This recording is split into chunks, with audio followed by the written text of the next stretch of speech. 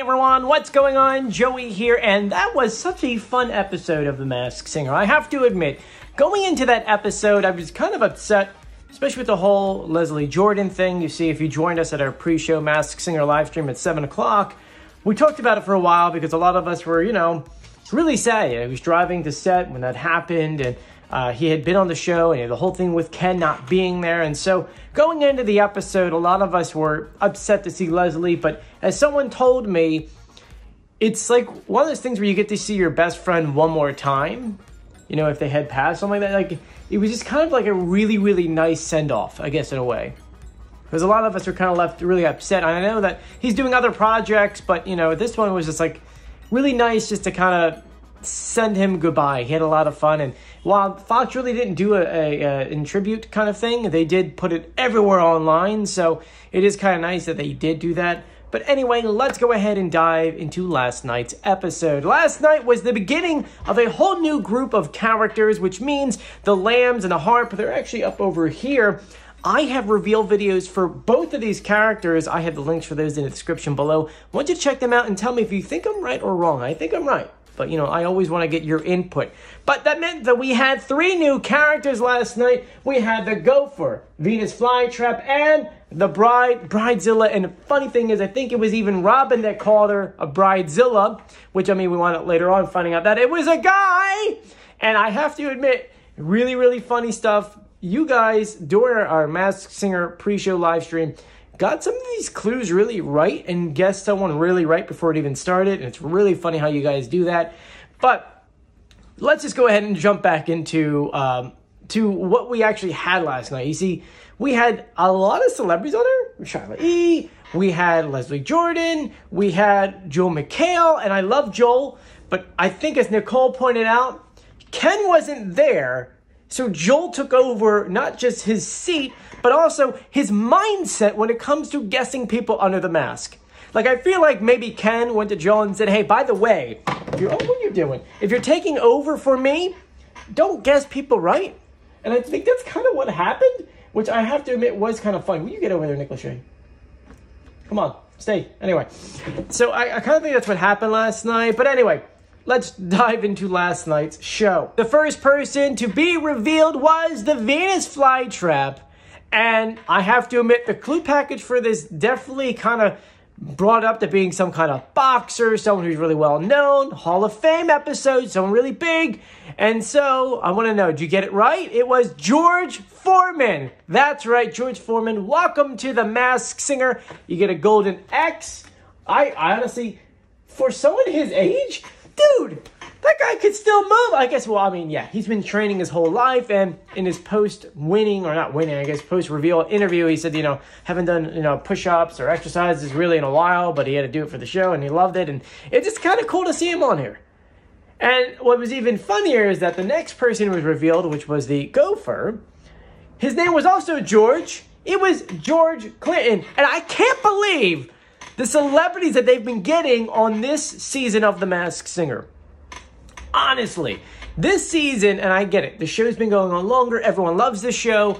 And I mean, like, even I think George Foreman said his wife was like, you should do it. They love watching it together. I think George Clinton uh, even said that he watched it with his grandkids or something like that we're getting such big names on this show. And a lot of people come and say, how many more seasons? How many more seasons? If they're getting celebrities like George Foreman and George Clinton on the show, this is going to go for a long time. I mean, even I was like, damn, like, how do you get so many people on here? Anyway, George Clinton, thank you for joining us. Now, that meant all we have left was the bride of the Bridezilla. And I told you guys in the Masked Singer preview video that I did on Tuesday that I thought that the Bridezilla was going to continue because since way before this season even started it was like at the top. All the PR stuff was, was the bride and they would never go ahead and kind of advertise a character that'd be revealed in the first episode. So with that being said, we have clues and we have pitch correct audio for this character. And yes, a lot of people are saying, who do you think it is?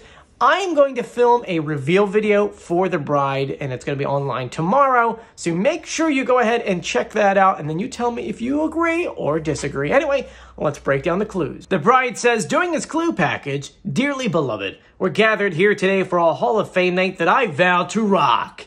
I'm always telling feel good stories, but let me explain how I ended up here alone at this junkyard wedding.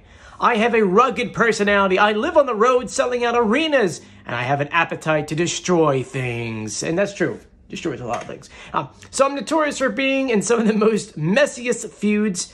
I've gone the solo route, but I've come here to master a new commitment to you. The Masked Singer Freaks! So tonight, here comes the bride. that was a fun clue package, wasn't it? It was. Anyway, visual clues a globe with a crown, a rose, rock and roll symbol, as you know. Actually, what is the real name for that? I don't even know what this is. Anyway, uh, a music note sign and a snake. Those are actually pins on him.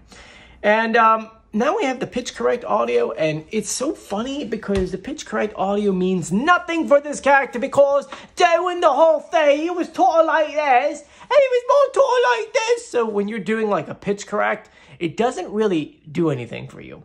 For me, this character, his real voice is in the singing, and I mean, that voice is very, very recognizable. I mean, very, very recognizable. But I'm going to play the pitch correct audio for you anyway. Take a listen. Dearly beloved, we're gathered here today for a Hall of Fame night that I vow to rock. I'm always telling feel good stories, but let me explain how I ended up here, alone at this junkyard wedding.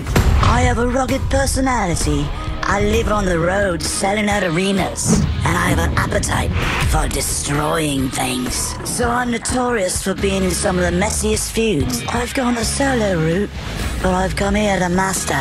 Master a new commitment with all you masked singer freaks.